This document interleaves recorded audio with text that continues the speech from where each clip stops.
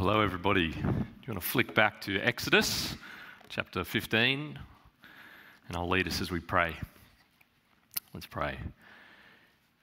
Our Father God, we're so thankful that we've just heard you speak to us in your word, and we pray now that you'd please um, teach us who you are, deepen us in our knowledge of you, your grace towards us, and so increase our adoration, our praise, and our joy in our salvation.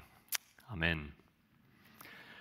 Well, tonight we're thinking into something incredibly serious, something incredibly dangerous, and something that has sent many people to hell grumbling. Grumbling, complaining about things. Oh, if only my, this, my, um, if this thing in my life wasn't there, then my life would be okay and I'd be all right. If only this person wasn't so difficult every week, making life tricky. If only I had this, then I could really be happy. Grumbling. And I, I, reckon for most of us, grumbling doesn't seem like such a big deal. It certainly doesn't seem like something deserving of condemnation, of judgment, of hell. And I think we think that because grumbling is such a normal part of, of what we do, of Aussie culture, um, you know, it doesn't, it doesn't seem like some crazy sin like murdering someone. It's just complaining. It doesn't seem that bad. You know, you catch up with a friend and they ask you how you're going, and you go, ugh, my boss is driving me nuts, and you vent. And that's just how we talk. It's just so normal to us. And because it's so normalized, it's just what all of us do. Some of us some of the time, some of us most of the time. And you don't want to be that person, do you?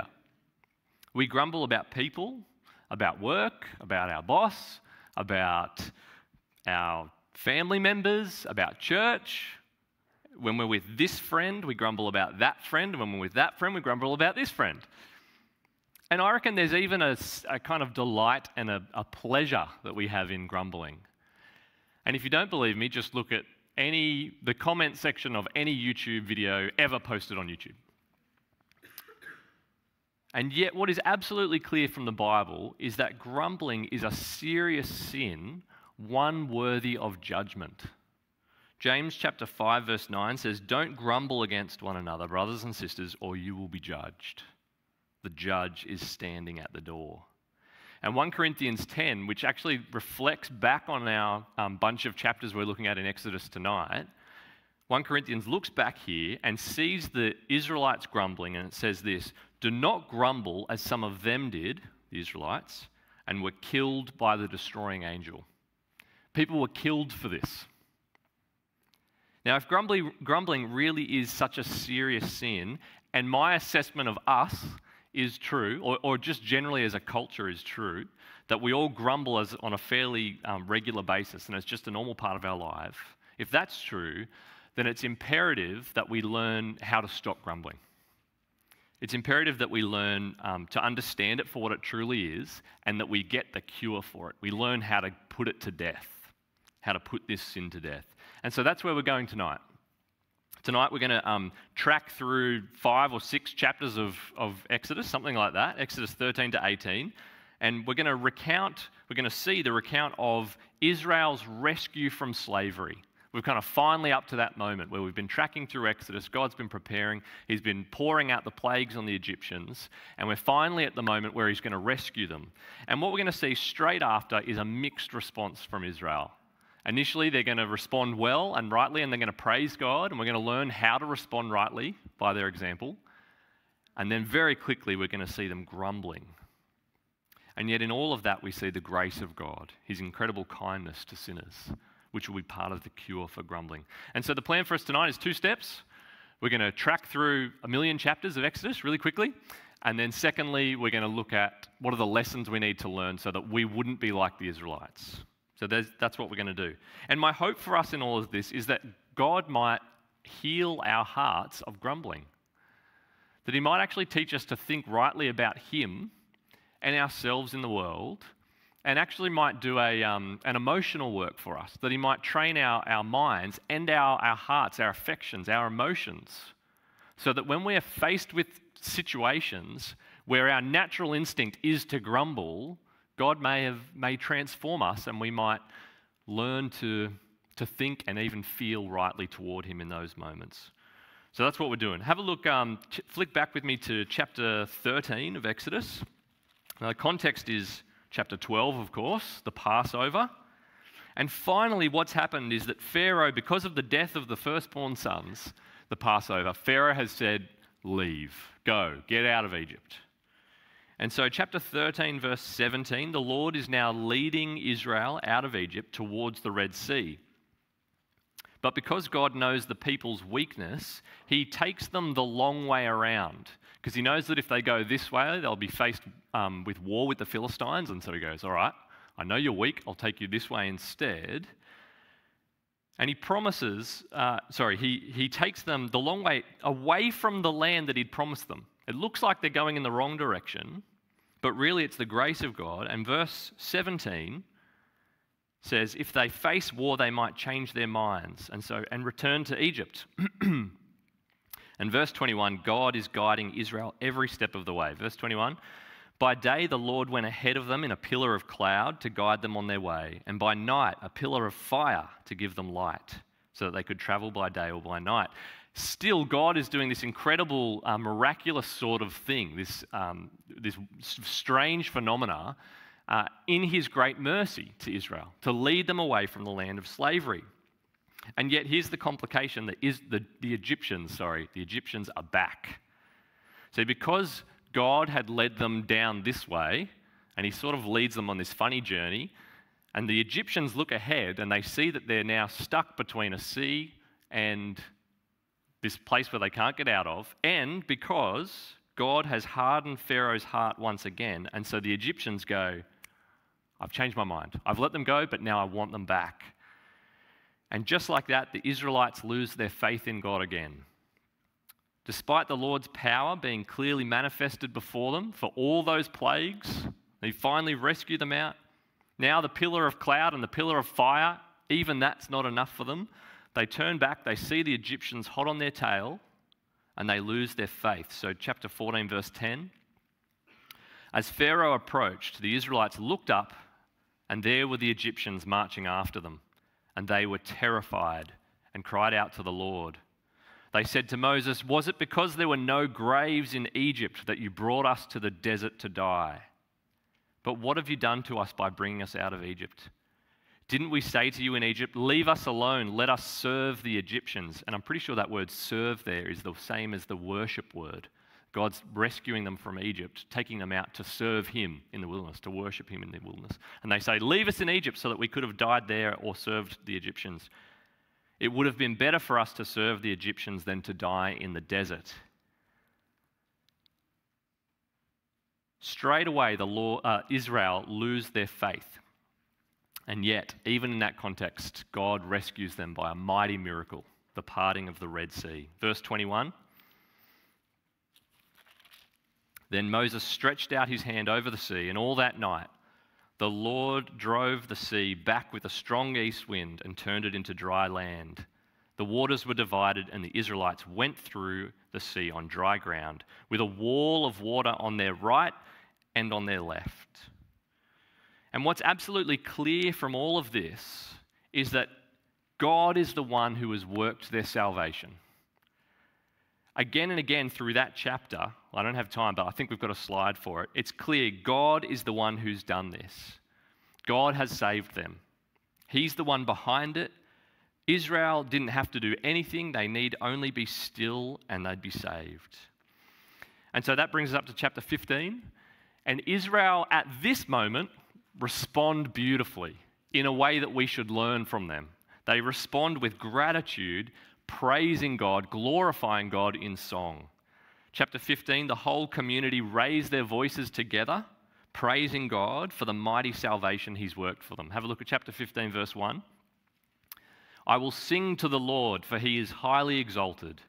Both horse and driver He's hurled into the sea. The Lord is my strength and my defense. He has become my salvation.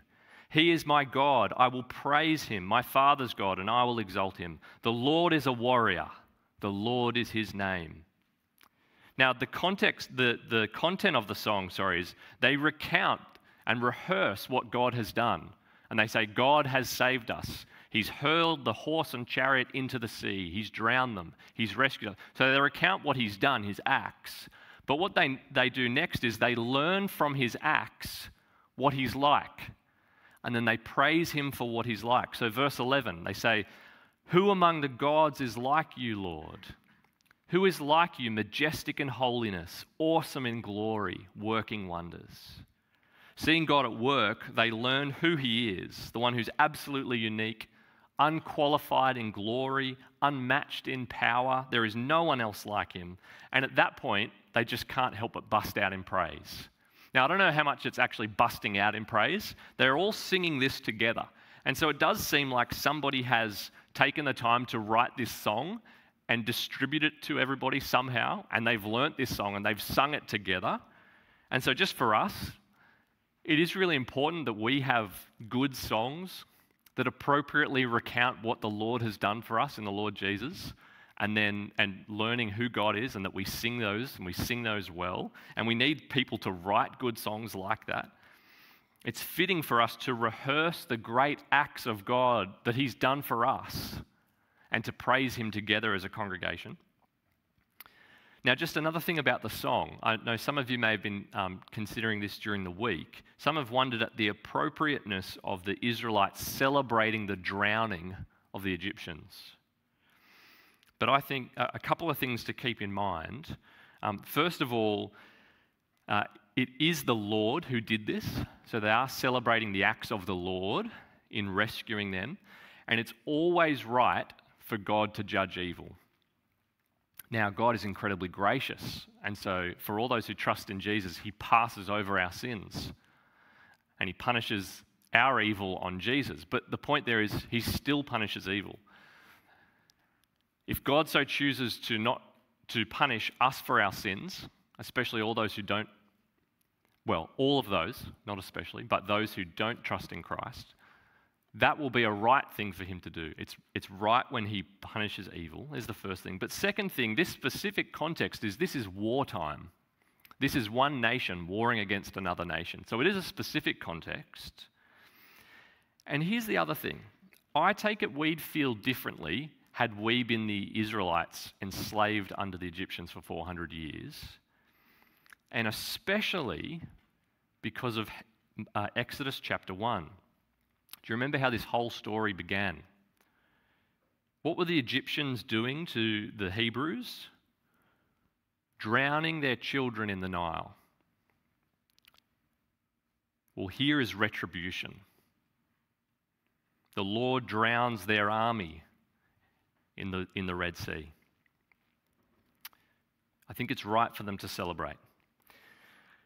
And if it is right for them to celebrate and rejoice, rightly praising God like this for um, rescuing them from hard hearted Pharaoh, it all goes very south very quickly. Because three days after this, it's now the Israelites who are the ones with the hard hearts. Now, I'm going to speed through the next couple of chapters, but what we come to next are three accounts of the Israelites quickly forgetting the Lord's great works to them in saving them and grumbling at him, despite all he's done. And yet, in every instance, God is gracious.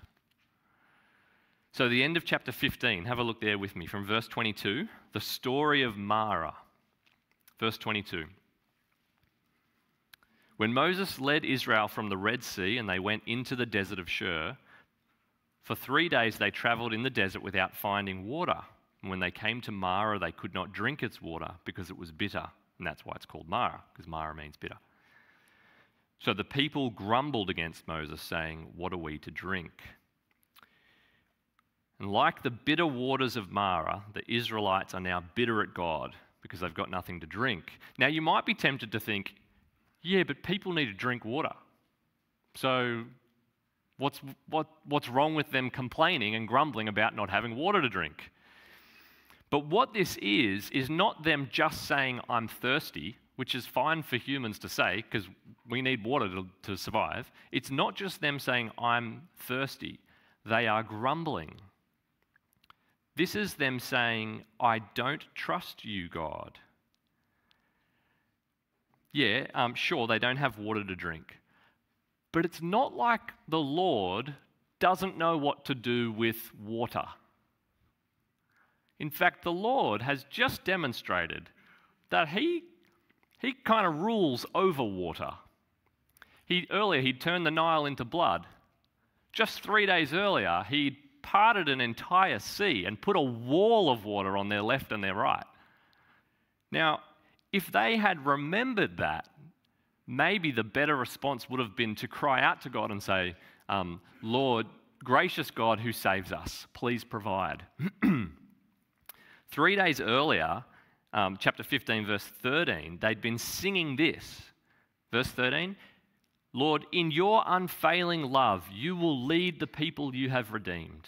In your strength, you will guide them. Well, they don't seem to believe that anymore. They don't seem to believe that in the Lord's unfailing love, He'll lead them where they need to go. Now they're thirsty, they've forgotten all that. And so, forgetting Yahweh, their Savior, they grumble. And yet, even in their grumbling and their forgetfulness, God is still faithful, still full of grace. Have a look at verse 25. Then Moses cried out to the Lord, and the Lord showed him a piece of wood. He threw it into the water, and the water became fit to drink. And so, despite their grumbling, God is gracious. There's the first incident, the story of Marah. Come to chapter 16 now, the story of the manna, where this whole pattern repeats itself again, but this time it kind of intensifies. Have a look at chapter 16, verse 2 with me. In the desert, the whole community grumbled against Moses and Aaron. The Israelites said to them, If only we had died by the Lord's hand in Egypt. There we sat around pots of meat and ate all the food we wanted, but you have brought us out into this desert to starve this entire assembly to death. This time they're hungry. Now, fair enough. People need to eat food. But their hearts are not right in this situation. Their whole and their whole view of things just so quickly just gets turned on its head and messed up. They forget what Egypt was really like. Um, they say, We had all the meat that we wanted. We were sitting around just eating meat. Now, um, the last meat they ate in Egypt was actually the Passover. And who gave them the Passover meal? That was the Lord, not the Egyptians. They're not really remembering things very well. They've forgotten what God's truly like. They're, they see there, they accuse him of bringing them out to starve them to death. Is that really what, how God has been treating them? That's not the Lord. That's not Yahweh who said, I'll win this battle for you. You need only be still. Who provided, provided for them again and again. They've completely, everything's messed up and turned around. And note that it's actually the Lord that they've grumbled at here. It says that they grumbled to Moses and Aaron, verse 2. But at, by the end of verse 8, Moses says, uh, verse 8, Who are we? You are not grumbling against us, but against the Lord. And this is why grumbling is a sin. It's not that their circumstances weren't genuinely hard. It's like we need food to eat. But complaining the way they were and doubting God's goodness as they were was wrong.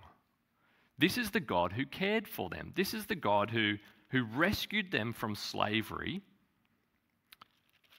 who said, You need only be still, and I'll do it all for you. What they should they shouldn't have been complaining, they should have been praying. They should have been praying to their great, gracious God who provided for them at every step. Well, how's, gonna, how's God going to respond to this stubborn, hard hearted people? Full of grace and compassion.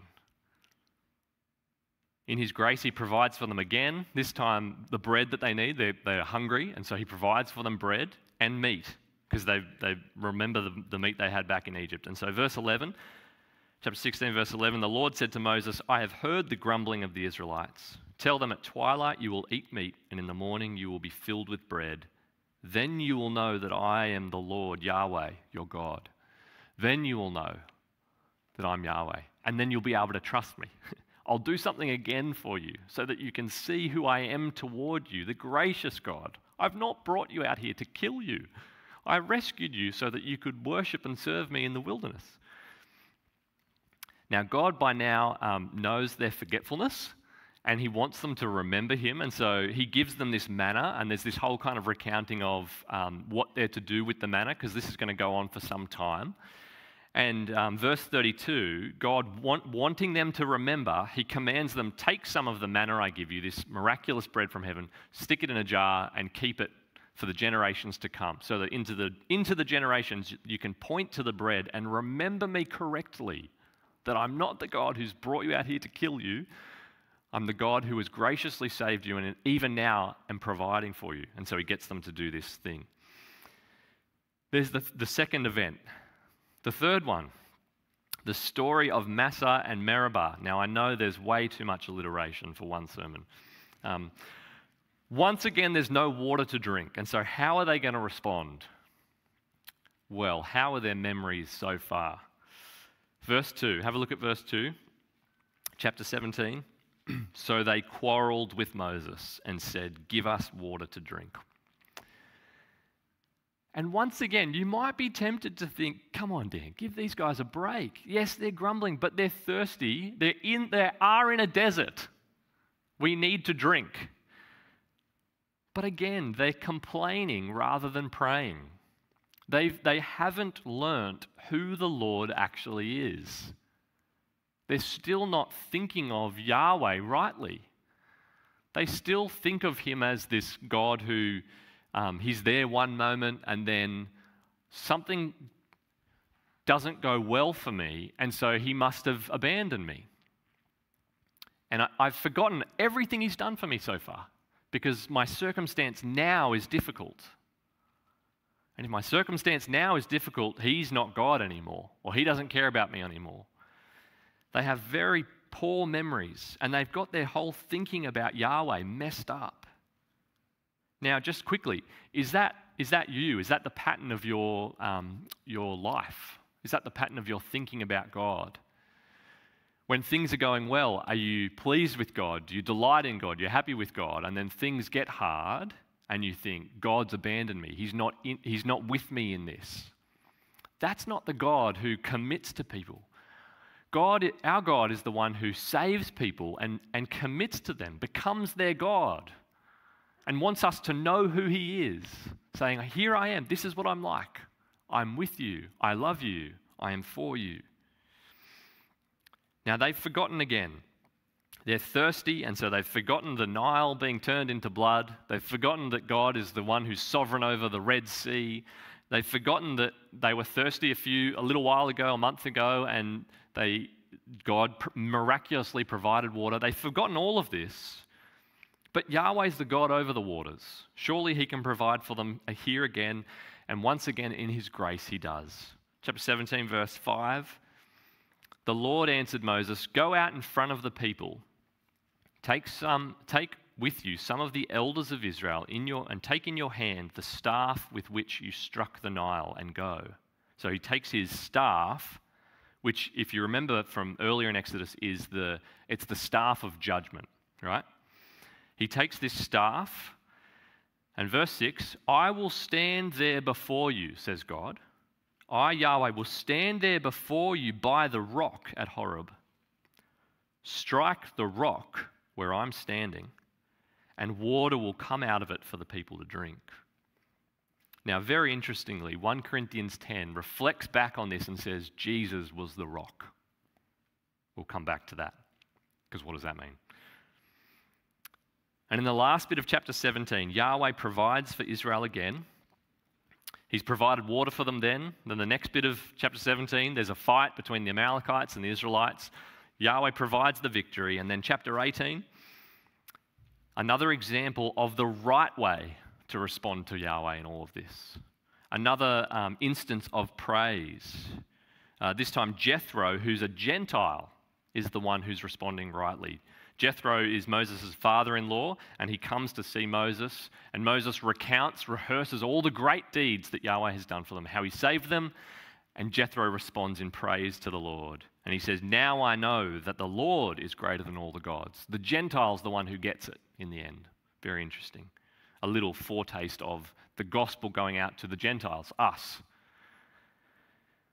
So there you go. There's a brief overview, and I know it was very quick. I'm sorry for that, and I've missed out important things. Um, but there you go. There's a brief overview of chapter 13 to 18 of Exodus. But what we would find, unfortunately, if we kept tracking through and we found our way into the book of Numbers, is that the Israelites' hearts continue to be hardened toward God, and eventually God's patience comes to an end, and all this generation dies in the desert. Not because God brought them out there for that, but because they continued to be hardened towards Him. Their grumbling was a serious sin. And so, what lessons do we need to learn from them that we might not be like them? Because that's what 1 Corinthians 10 urges us to do. It says, look to the, learn from their example to not grumble the way they did. So, what lessons do we need to learn? I've got three lessons for us. Here we go. First lesson learn to see grumbling for what it truly is it's hard heartedness towards God. See, when we grumble, we're, what we're implicitly saying, even though we're not mouthing those words, is God, you have wronged me. I deserve more than this. Life should be like this for me, and you've given me this, You've done me wrong. We exist under a sovereign God. We exist under the God who's in control of all things.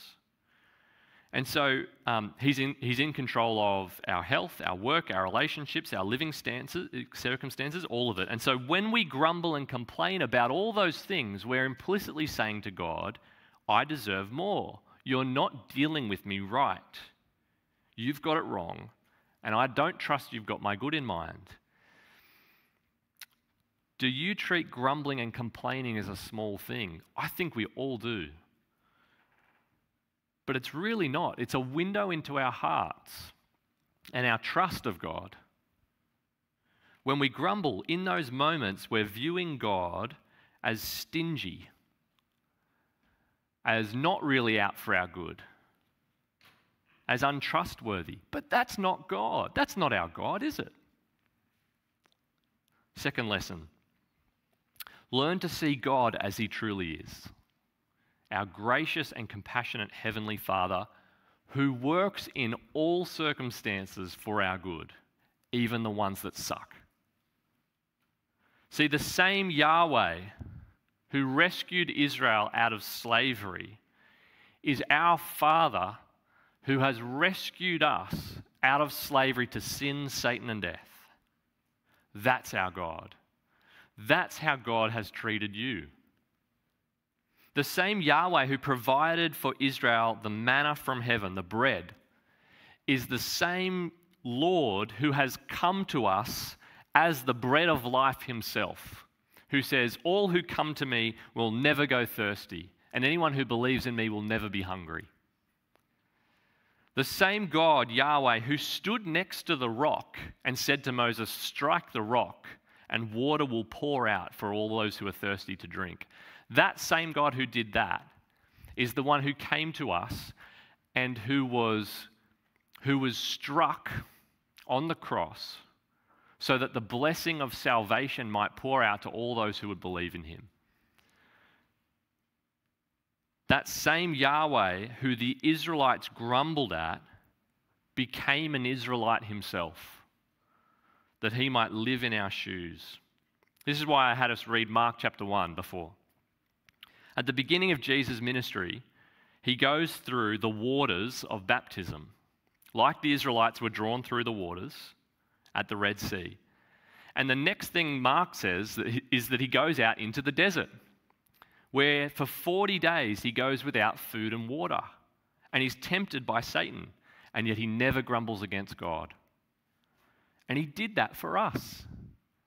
Jesus did that to live the perfect life, to come as the true Son, the true Israelite, so that despite our terrible forgetfulness, because Israel is just a picture of us, Despite all our terrible forgetfulness, despite our, our lack of gratitude toward God, despite our grumbling, Jesus has been the perfect Israel. And so I can be forgiven freely. And though God is just to punish sin and our evil, and He could do that, He chooses to have punished the perfect Israelite so that we don't have to be. That's our God towards us. He's gracious, He's compassionate. And one of the most glorious parts of the Bible, Romans 8, uh, reflecting on this incredible truth, says if God has so cared for us in this way, in the death of the Lord Jesus, if He's so cared for us like this, how could He not also now care for us in all circumstances of life? Of course, He cares for us in everything.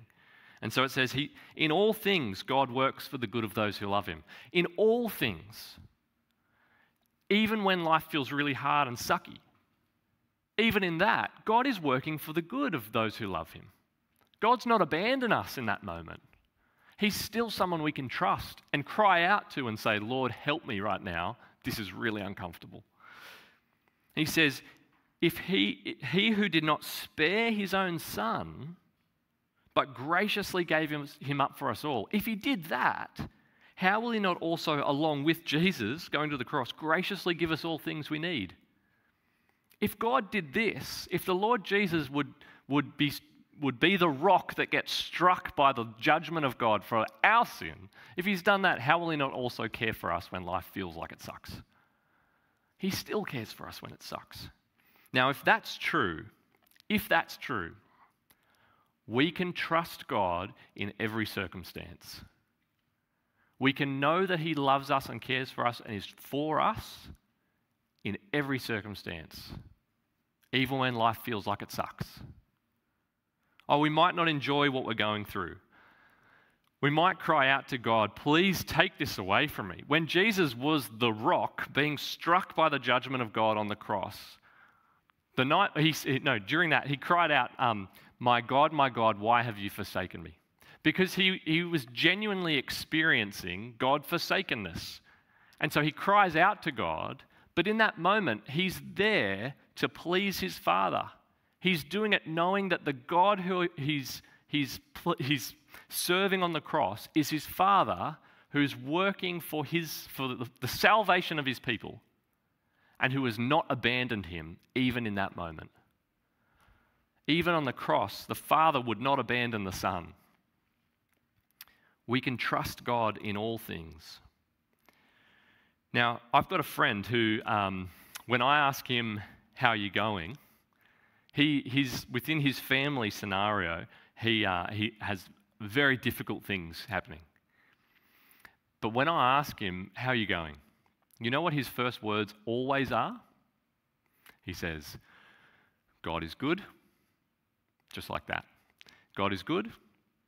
Uh, and then he, he says, You know, we're finding this hard at the moment, but I know the love of God for me and he's teaching us, and God is good. And that's how he responds every time. And I don't think he's faking it.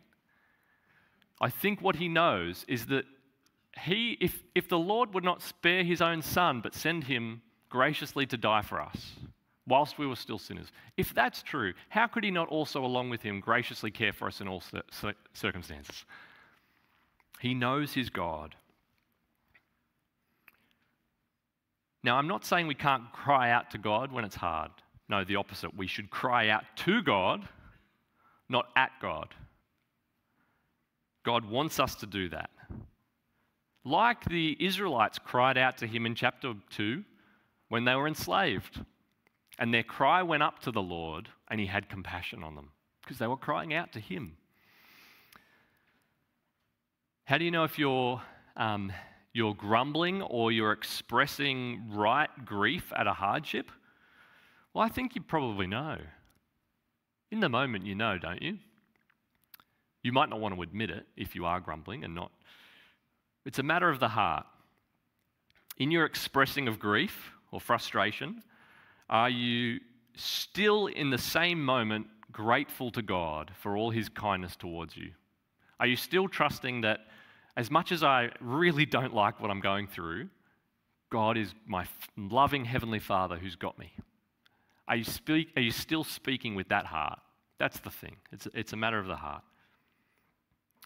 Are you venting um, because you actually want to take revenge on someone who's annoying you?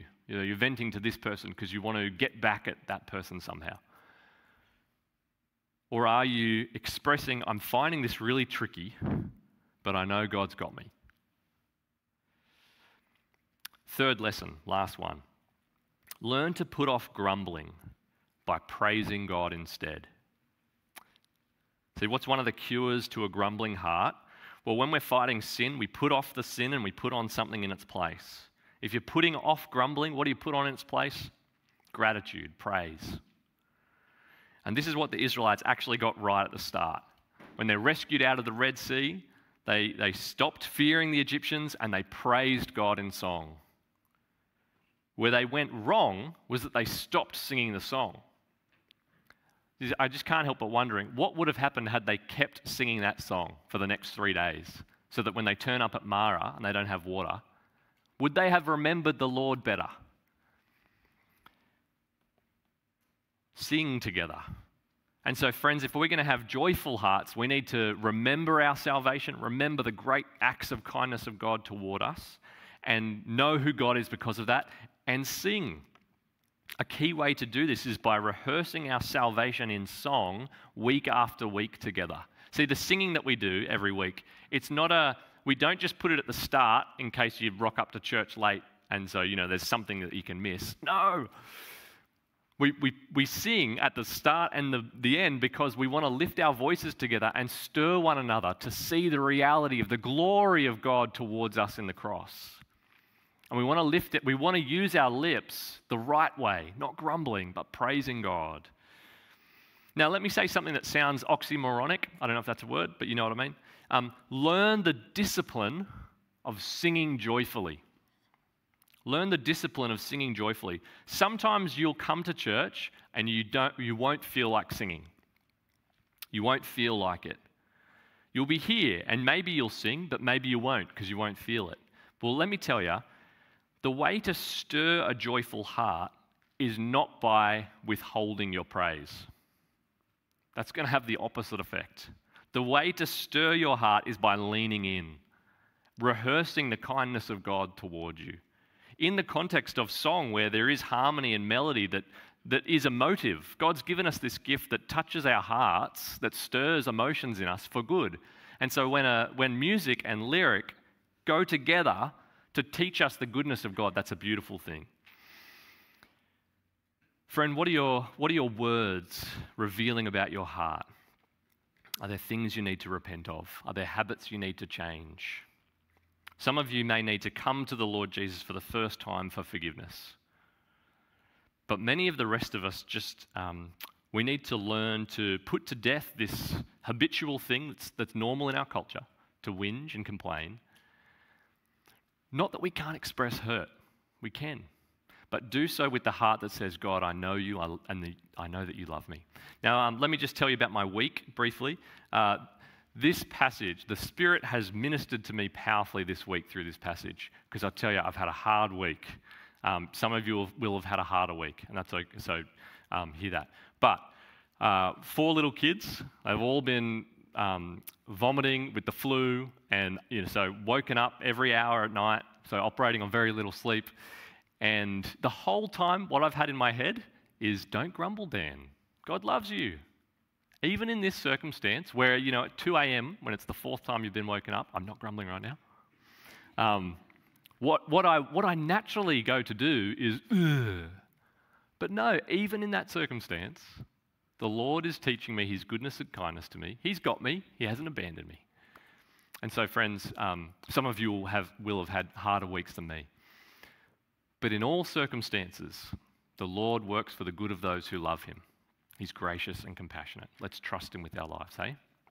I'll pray. Father, we give you thanks that you know us and you love us despite our, um, our weakness, despite our forgetfulness, and we, we see ourselves in the Israelites. And yet, even despite all of our sin, you have been so gracious to us. Thank you for your steadfast love. Please change our hearts in the moments where we're finding life tricky, especially.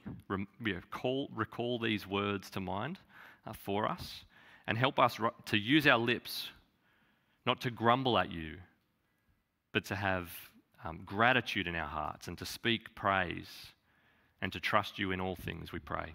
Amen.